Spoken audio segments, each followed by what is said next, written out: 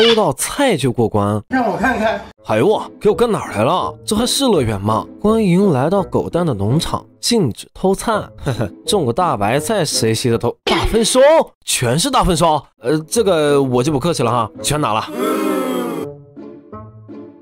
哦，这次还留了张纸条，太过分了！你竟然拿走了我两千八百八十株作物。这次我添加了护卫，不会让你得逞。我说白了，你这护卫压根白添加了，丝毫也不影响我偷菜的进度啊！呀，一个护卫不够，两个护卫就够了。作者，你真是太傻，太天真。好，这次又有留言条，护卫都守不住我的作物。我不种菜了，你还能偷家不成啊？还真没种，啊，这总不能让我空着手回去吧？那就浅浅偷个家。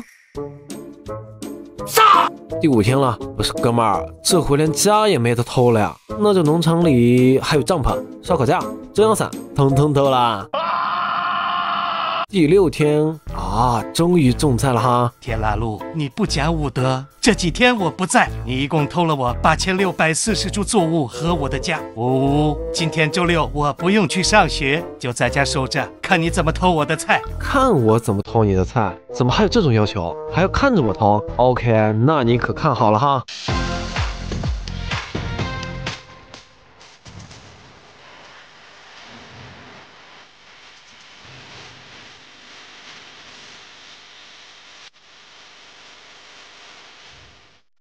你也太厉害了，在我眼皮底下菜都能被你偷走。我要去上学了，种的菜已经熟了，你去偷吧。啊，事出反常必有妖。但是这菜就搁这放着，我总不能不偷吧？